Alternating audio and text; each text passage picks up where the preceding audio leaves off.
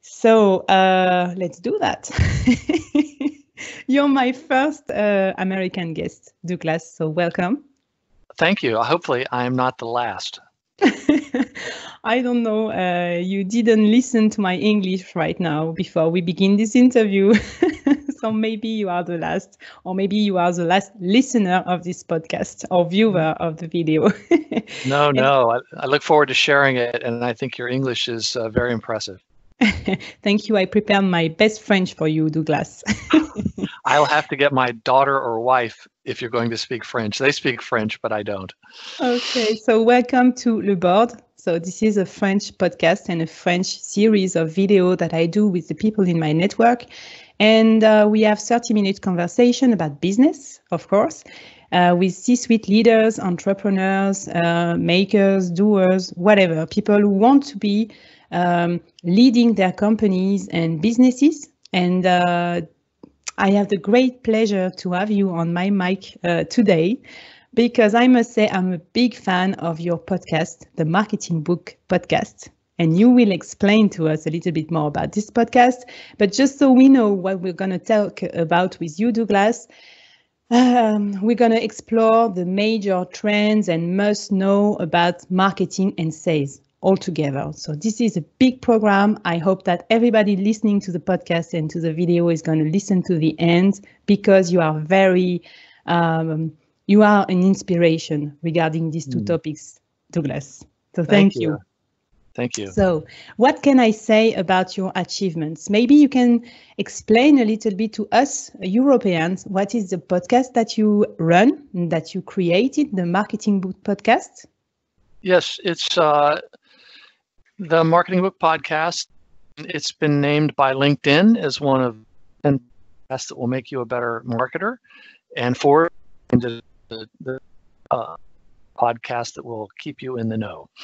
Uh, so for the last five and a half years, since January of 2015, I, every Friday I publish an interview with the author of a new marketing or sales book.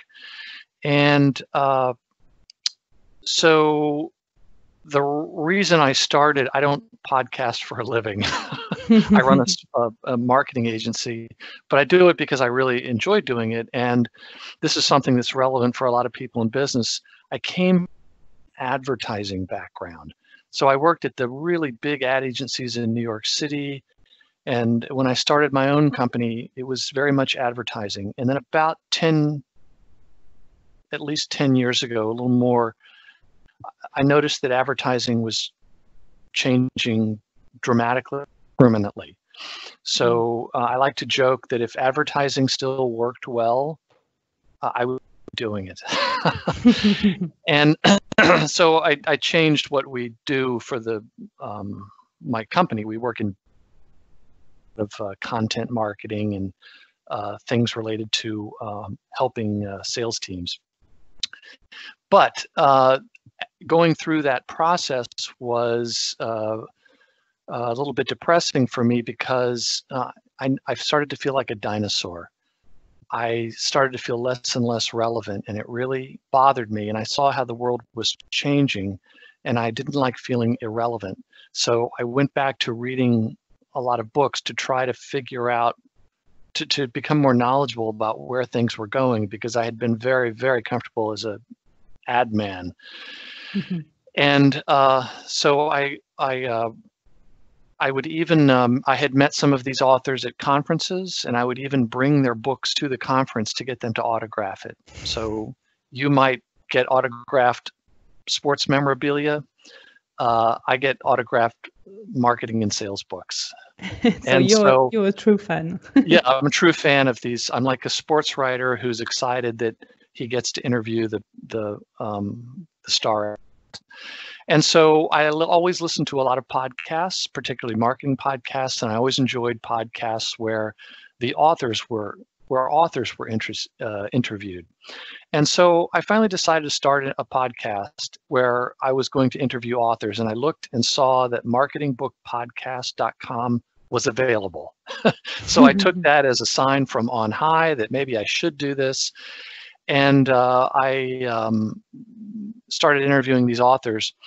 And uh, after about 10 interviews, uh, and these were books that I had already read. Only then did I realize that I was going to need to read each book before each interview. And so uh, last, uh, I think last week I published episode 290. Wow. And so I've read all those books. And it's only one book a week. And I, I get a lot out of it. I like learning. And I also enjoy knowing that people like yourself, uh, people I get to meet, are finding the podcast helpful. So I read the mm-hmm. book and then I ask questions that I think would be uh, so, that are surprising to me or that would be interesting to you, particularly people who um, are not as close uh, to marketing and sales as, as we are. There are a lot of marketing people. Mm-hmm. And I, I, checked the other day, there's listeners in 158 countries okay. and a lot of marketers, but a lot of salespeople like yourself. And it, it always surprises me. And uh, a lot of um, people that I, I jokingly call thrusters, meaning they were suddenly thrust into a marketing role, or maybe they were head of sales and they put marketing on their business card, or someone who just became the CEO or a president is mm.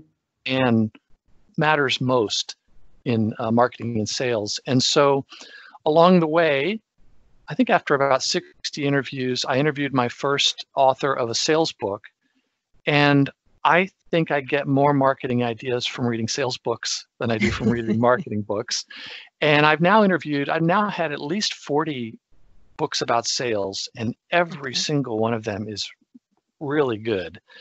And um, I think that the more that marketers understand about sales, the more effective they are, because it gets them closer to understanding how people buy. Mm. And uh, there are a lot of very successful salespeople that seem to be doing even better the more they understand uh, uh, about how marketing works because marketing and sales are having to work more closely together to be more effective because um, in the past, like you may have heard me say, when my father wanted to buy a new car, the first place he would have to go to get information was to the car dealership, the place that sold the car, because they had the information. There was mm. really no internet, none of that. Mm-hmm. And uh, then um, there was this asymmetry of information.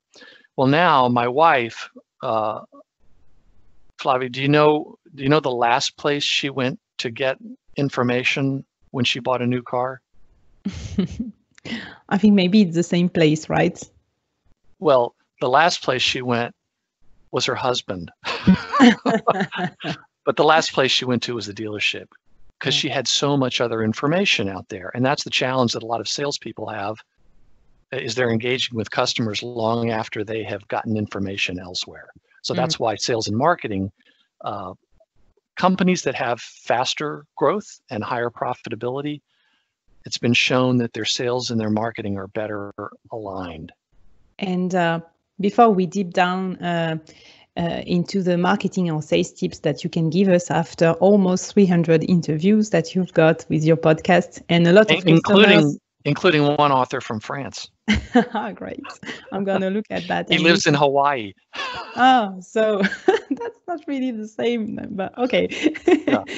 no, but uh, I mean, for those who are not specialized neither in sales or marketing, maybe you you talked about them a ceo a founder somebody who just created his own business and and she or he wants to drive uh, bigger sales or results or awareness um, what kind of advice or tips do you have to give to them so that they can uh, drive uh, the growth of their company well after reading all these hundreds of books and i had read more before that as well um, but I can prove that I've read 290. Um, the companies that do the best, the companies that are the most successful, even if they don't have the best product, are the ones that understand their customers better than their competition. And it's surprisingly difficult for companies to uh, focus on their customers. And they all say they're customer focused, but they're not. They're mm-hmm. more focused maybe on their operations. I mean, things that take up a lot of their time. And this is an observation, not a criticism. They're, they're very focused on running their businesses. Mm-hmm. That's fair. And then there's other companies that are, they'll never admit this, but they're very focused on their competition. Whatever their competition does, that tends to drive a lot of the strategic decisions that they make. And then there's a third group out of three uh, companies that are just more, a little more focused on observing their customers and understanding their customers. And I'll give you an example of one, and it's Amazon. Jeff Bezos, the founder of Amazon, has said that they're not that focused on, they focus on their competition, but a lot less than they do on their customers. Hmm. They're obsessed with observing their customers and specifically finding friction so the more friction that you can find in your customer's life, even if it's not something you can directly help with, the better you're going to understand your customers. And so Amazon is just an extreme example, like one-click ordering that you may have heard of, they mm-hmm. patented that.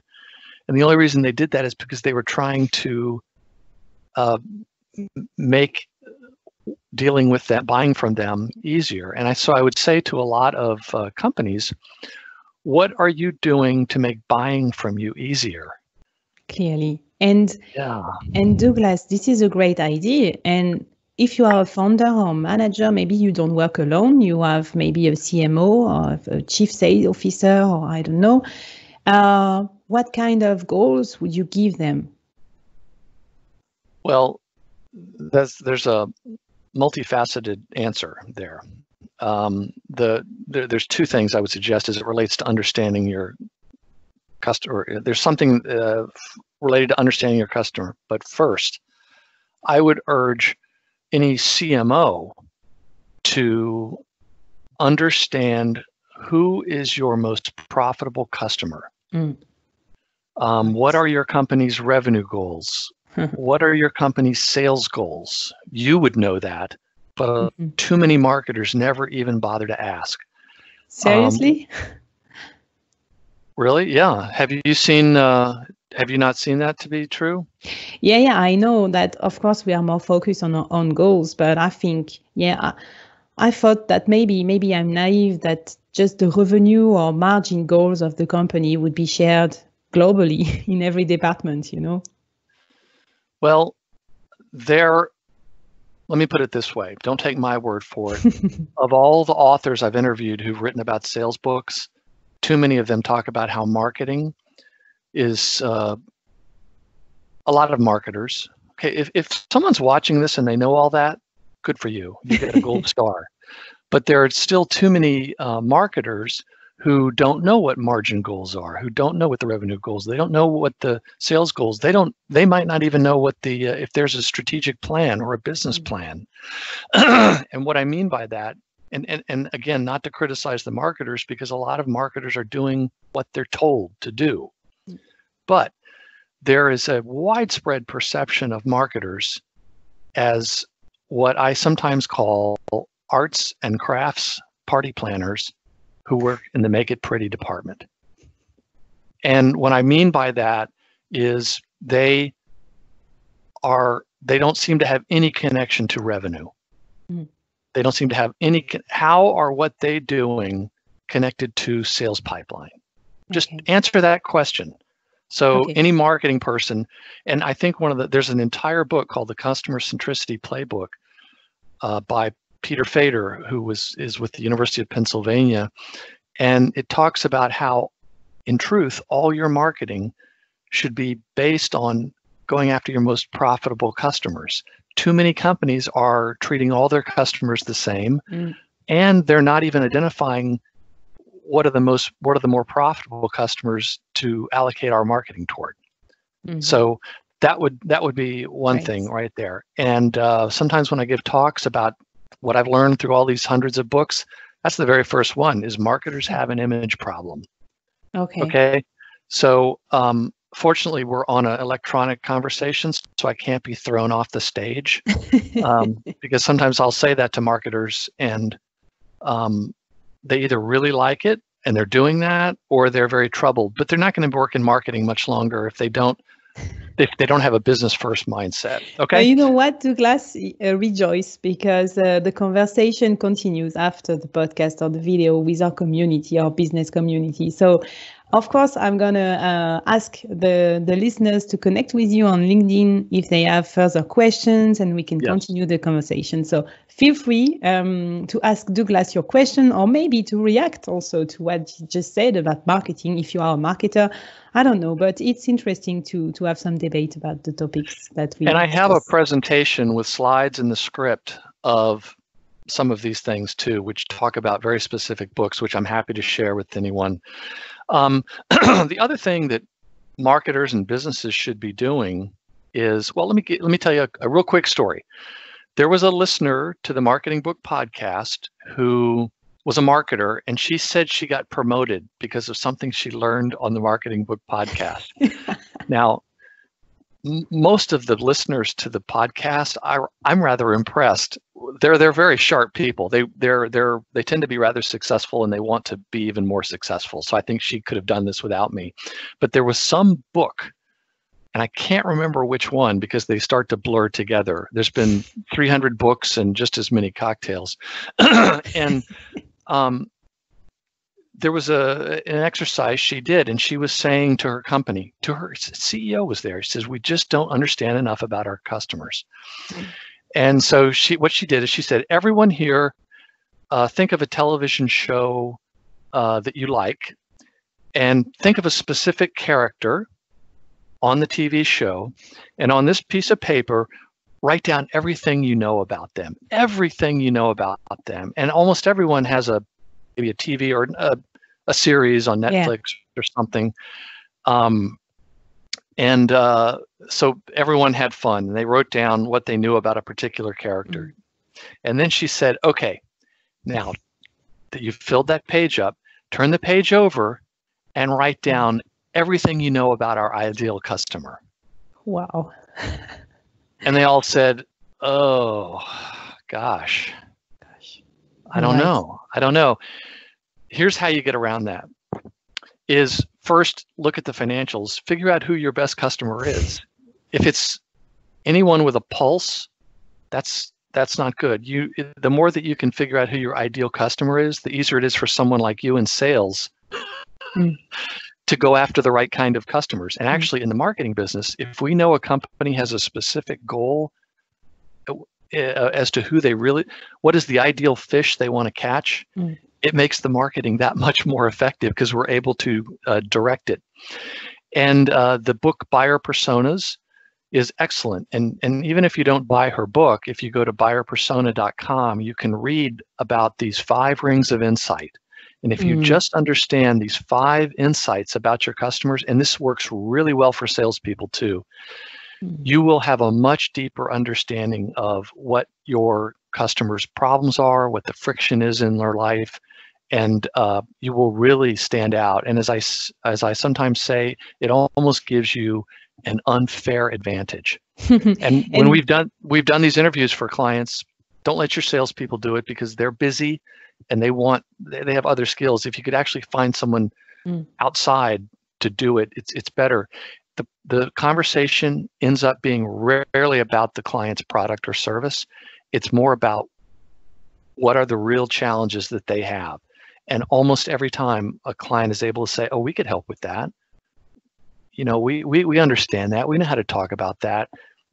You become, uh, you start to break through to your to your customers, whether it's in sales or marketing. I think this is really uh, interesting because this is some something that maybe people know about uh, design thinking approaches or agile mm-hmm. management methods. So maybe people who are in operation, in innovation, uh, can help with that because knowing the, the buyer's persona will help for many, many things in the company and not just sales or marketing, I think. Oh, you're absolutely right. Mm-hmm. And um, this approach helping much more than just marketing. It helps with products or services that you start to offer. And do you know when you are on the right track, when when the people at your company start referring to that person by name, it's a mm. fictional mm-hmm. name, but it could be, um, you know, uh, like we had one uh, recently for a, a, co- a, company that built out all these interior spaces for large companies, and they dealt with what's called in the United States a facilities manager. Mm-hmm. And they called him facilities manager Tony. And we even have a picture of him up in the it's it was a stock photo, but it's facilities manager Tony and they say that's who it that's who it is. That's who we deal with. And the way that you know you're successful is in conversations within your company, people start to say, wait a minute, that's facilities manager Tony, he would not care about that. That's how like you know it. you're successful. Like yeah. It. And you know, I like to to give some challenges as well for the people who listen or, or, or watching this video. So um, last lately also I was asking who is our most uh, uh, favorite customer and and blah blah blah, and then I, we just met with some of the customers and went to the restaurant because we know in France we love to go for food. so we went to dinner with some real customers. I mean, it was crazy. We discussed Good for personal you. life. Most companies and, don't even do that. Yeah. So I suggest that maybe um, if some of you uh, want to challenge yourself, you can just go uh, for having a lunch or a dinner or just a cocktail. And you can ask Douglas for some recipes of cocktails because I know you did many, many cocktail hours uh, during quarantine with your author. That's right. When the quarantine happened, um, you could say I turned to alcohol, but not really. But I I started to sup I started to add additional episodes with past guests, not to talk about their books, but to talk about the implications of this quarantine. And in almost all cases, uh, both of us were drinking. So we would do the interviews later in the day um, because I don't drink all day. And uh, we did 66, and finally I had to stop because my liver needed a break. but that was called Authors in Quarantine Getting Cocktails. and uh, uh, just to finish with the, the, the part, uh, your expertise, because we all want to know what's inside the, the books that you've read. And so um, I want to ask you, Douglas, what kind of use, useful tips or maybe uh, trends uh, you learned by speaking with, with these uh, sales and marketing authors lately? Hmm. Not easy to choose. I know. I, I don't want I you to get mad with some of your interviewees. So we're going to put lots of links, of course, also in the audio description. sure, sure. Well, um, the as I said before, the more that you are, the the more that you understand your customers, the better. Um, marketing, uh, the the era of easy marketing and sales is over the problem is that, and, and it's much more challenging to be a salesperson now.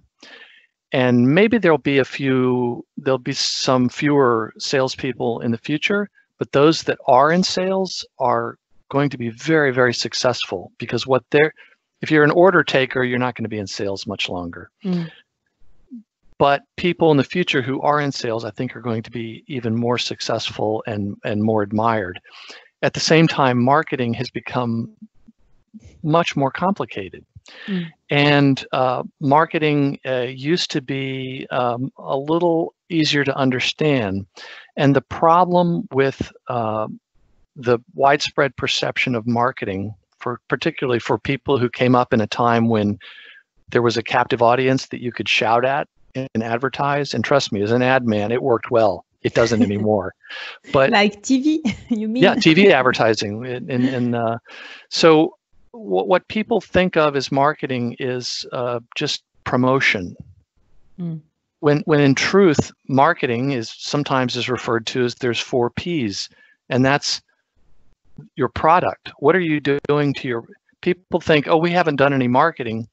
You've been doing marketing every single day because marketing involves your product what product you're offering, what changes to your product, how you price it, and how your customers pay for it. There's a lot of innovation there, and how mm. you distribute, place, how you distribute it. Are you distributing it through channels? Are you selling it online? All those are the first three P's of marketing: product, place, product, uh, price, place. The mm. fourth P is promotion. You shouldn't mm-hmm. even do promotion until you have those first three optimized. And that surprises a lot of people. Mm. So I think there's a, but there's a, a, perception of marketing is simply getting our name out there. Yeah. When in fact, uh, the greatest marketers are the ones that are the experts on their customers. Mm, great. So, um, we're going to look for all your recommendations and books and everything but I, I want to ask you something douglas and it's more like a personal because you are those, business those charges were dropped. I'm kidding i'm kidding. No, no i have no, no criminal past. No problem. So i mean you are a business owner and leader because you run you run your uh, marketing agency which by the way is called artillery sales artillery. That's right? That's right that's right. I was in our and in my youth, I was an artillery lieutenant uh, in Germany for three years. and I know you work for a German company, so so I got to go to France a lot. That's true. So you you run this company, and uh, also you are uh, a podcast host, and you read these books every week. So just how do you do? how do you manage to to to achieve these uh, many activities? With scotch. No, um, in fact, reading all these books has cut into my scotch drinking, which is why there's still scotch here. Um, well, the the it's something I enjoy doing, and it's really a priority. So when someone says, "How do you find time to do that?" Well, it's really just kind of what your priorities are. So some people like watching television, some people like uh, you know have different hobbies, and uh, so I read the book on the weekend mm-hmm. maybe two hours on Saturday and Sunday, and and finish up during the week when I have uh, a little bit of time, and then I just do the interview during the, the so it's it's a priority. But I mean, I I also exercise three times a week, so that's at least three hours right there, mm-hmm. and uh, so it's just something that it's kind of worked its way into my routine, you know. And now that I'm giving up the lease on our office because no one wants to come into the office anymore. I'm here at, at home, and uh, so there's no commute time. Uh, so that's that's how I uh, that's how I do it. Is I guess the the, the short answer is I made it uh, a priority, and it's something I want to do. Um, so it's not a it's not a burden. Okay, great. And and that keeps you up to date as well, and it's very important in in the world we are living in. So yeah. and I um, get to meet people like you. that's that's nice indeed. And uh, I wanted to explain also a little bit about our uh, meeting because actually I was just a fan of your podcast and I was sharing this on LinkedIn, but I wasn't even quoting you because I I don't know you were not uh, uh part of my uh, network on LinkedIn and you you you I don't know how you managed to see my post. It was in French, but you just replied and send me some uh, small gifts uh, by post, like stickers yeah. for my computer and stuff. You know, I was amazed. This is coming next. I'm like Douglas is so considerate to think of his fan like that, and uh, and then I just dared uh, to ask you on, uh, on LinkedIn if you wanted to come to to the podcast and to have a chat with me. And so I I think that's the magic as well of the the network we are. Um, uh, evolving in. And uh, I like the idea of the connections that you make through the podcast. Oh, me too. It's so uh, interesting. And um, I like to say that I also have the most attractive audience in uh, all of podcast world. I mean, look look who I'm talking to right now. Um, I'm glad to know that that arrived. And if there's any people watching or listening, uh, and I can send you some uh, marketing book podcast yeah. uh, laptop stickers and book please let me know. Um, well, it's just, uh, I think the reason I saw that LinkedIn post is because someone else mentioned my name. They tagged me. It might have been Olivia. Mm, yeah, that's true. And uh, that's how I saw it. And I thought, oh my goodness, um, I, I really appreciate you. I was so excited to know that uh, someone gets value from it. And if I wanted to ever stop the podcast, I don't think I could because, um, and I blame people like you because these people say, "Hey, that was a great interview. Thank you. I found it really helpful." Or like that other uh, woman here in the United States who got said she got promoted. It's like, oh no, I can't stop now.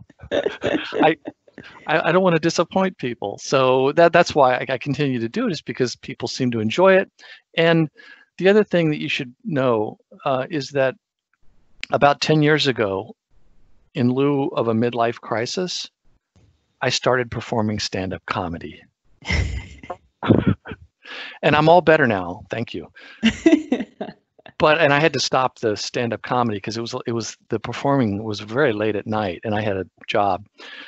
And um but I think that I am still able to channel some of that into uh, my podcast. And I know I was ex- ex- successful because your friend, our friend Olivier, he said, I really get your sense of humor. And I just thought, my goodness, that's more than my wife can say. And uh, so. But I must say your podcast is also very entertaining. It's not just for uh, sales nerds, you know. It's it, you always get something very interesting about life we are living in and business, and and also the authors that you interview. They are also sometimes businessmen themselves or businesswomen, mm-hmm. and it's very interesting to to get to know them. And uh, one one quick thing again about the podcast. So when what kind of advice would you have to people like me or like uh, some of our listeners who want to go live with their passion or hobby or expertise and maybe create a podcast or create a channel or uh, create a media about their expertise? Um, I would mention one thing. Um, most podcasts never get to episode eight because a lot of people, I mean, how many people have said signed up for a marathon and then didn't run in the marathon? So it's something you have to decide who, why am I doing this? Um, is it something I enjoy doing or is it going to feed my business? The other thing, um, it's like a lot, most, I think corporate blogs don't have more than five blog posts because they, yeah. they start it and then they kind of don't realize that it takes a little bit more time. But I think the best advice for your anyone who's looking to build an audience is think hard about who that audience is. Kind of like back to what I was saying, like who's your ideal customer? Not everyone, but who's the one you really want? Because there are riches in niches. And uh, uh, so I think that if you can figure out who it is that you're trying to reach, and then maybe niche further down, and I know you would probably say niche, but niche further down. Um, niche for us, it's more like a philosopher. oh, Nietzsche? Yes. I see. Um, well, that's my my American uh, pronunciation of French words, of which there are many in the English language. But I think think hard about who it is you're trying to reach and what what you want to do for them. That that's something that too many people think I want to be all things to all people. It's no different from a business that says we we want to be all things to all people. Actually, the most successful ones are the ones who are able to say no to grow. In other words, they're able to say this is this is who we don't want to work with. This is who we're not trying to attract. Mm, clearly, well, great advice. And in terms of advice, we, we see a lot today on the internet or in the podcast or everything. Can you remember the best advice you were given and maybe the worst? Um, the best advice came from a friend of mine who named uh, Brad McDonald, and he was a U.S. Arm, a U.S. Navy submarine commander at one time. But he he he worked he worked in sales after he got out, and he uh, wrote a book uh, called The Psychology of, of Sales. It was very interesting. And I remember um, he said, you know, there were like three rules for success, and I hope I can remember them. One is take responsibility for yourself. And what he meant by that was don't, there are external things that you can't control. Focus on what you, you can control. For instance, in sales, don't worry so much about the outcome. Focus on the things that you can control the results will come. And uh, the second one was um, do what you say you're going to do. that is such a um, that is such a great example and I, I, I, do what you say you're going to do so it doesn't mean make a lot of promises but if you mm. do everyone's watching to see if you're going to do yeah if you say you're going to call someone tomorrow and you don't, Mm. If you say you're going to do something, do it. And the third one was, and this is probably my favorite, you get what you inspect, not what you expect. so, in other words, if you are, um, let's say, a sales manager mm. and you want more sales, well, you're not going to get more sales unless you are maybe doing pipeline reviews or or you know watching the activity mm-hmm. um, like my my brothers and i own a house on the beach in florida and uh, a company runs it and uh, it's a good a good example where when we start checking things uh, they know that that's what we're going to check and mm. those things are always addressed but if we don't uh, if we don't, they, they go with it. People, we're all the same. We're going to do what what's being inspected for. So I think mm-hmm. those were three. Um, those were so you got a bonus there, Bobby. Oh, you yeah. asked for one, you got three. I'm over delivering. Is so, it happy hour yet in the in, in the US? No, well, it's know. it's five o'clock somewhere. Um, no, it's not actually. I'm on the East Coast and it's only ten, which is why I was drinking coffee. But uh, it's happy hour. Well, it's happy hour in uh, maybe one time zone past you. So it's there's five o'clock somewhere. Um, so I don't know about the worst advice. Um, uh, maybe I don't, I can't recall the worst advice I've ever gotten because um, it's my way of, of uh, coping and blacking out bad things. But there's lots of, there's lots of uh, bad, bad advice. I, I, I don't know. I guess when it comes to advice, you have to um, be skeptical. Like, mm. for instance, when I had a boat, when you notice when you say, hey, what kind of boats, you know, you, you start asking people what kind of boat you should get, everyone recommends the boat they have. or like uh, the motorcycle that I have. people ask advice, they recommend exactly what they have. Or like if a hunting equipment, they mm-hmm. recommend the rifle that they have. So mm-hmm. it's like mm-hmm. uh, you, you have to be careful about, um, you have to be careful advice. So I'm sorry, I can't I can't think of something. Um, no, but that's that's no problem, and that's also why we listen to podcasts or see videos or read articles. It's also to make up uh, our own minds uh, about things and uh, yeah, pick up what we need as uh, the good tips for us at a certain moment. So that's perfect. And to finish with this interview, Douglas, so I have two questions for you. First, when will you write a book yourself? I'm not sure I will. I'm too busy reading them. Um, but I think that uh, it's my sense that you know you're a writer when mm. you're tormented by something until you get it into a book. I, I, I don't I don't know. I don't know. I don't know what I would write about. It needs to be something that would just torture me until I, I'm able to get the book out there. Okay. Um, but so if you have any ideas, please let me know. Okay. We let we let you know, Douglas, and with all the listeners as well. And uh, the last one is, uh, what's your last uh, piece of advice for our listeners and uh, and leaders uh, about your uh, expertise or or else about business? Well, if you listen to the Marketing Book podcast, all your dreams will come true. so I think that. Um, the more that you can, uh, here's here's my last bit of advice that we didn't talk about, and that is again back to understanding your customer and finding friction. Take your customer's point of view as it relates to buying from you, like a mystery shopper. You, how difficult are you making it to do business with you?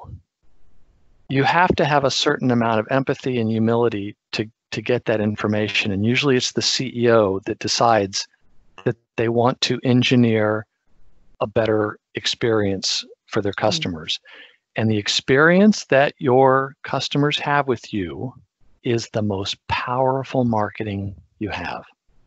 Mm-hmm. It's not running ads. It's once they are interacting with you and become a customer, they can then tell so many other people and they come back and they're willing to pay more.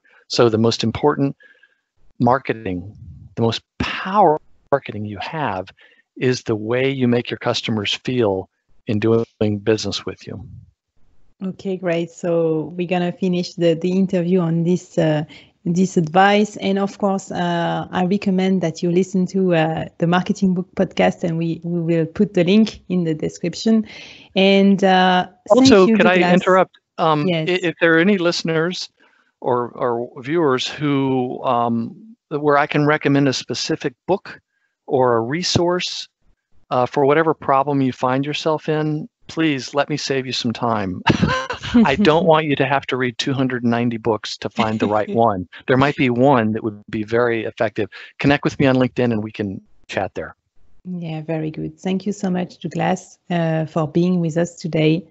And uh, so uh, we give you a, a virtual hug and uh, maybe we have you uh, in the next episode. I don't know if you want to practice your French, you can still listen to the further episodes of Le Board. yes, well, I can you. share it. I can certainly share it. And my wife and daughter will be very impressed that I that I was uh, interviewed here. Merci beaucoup, Douglas. Au revoir.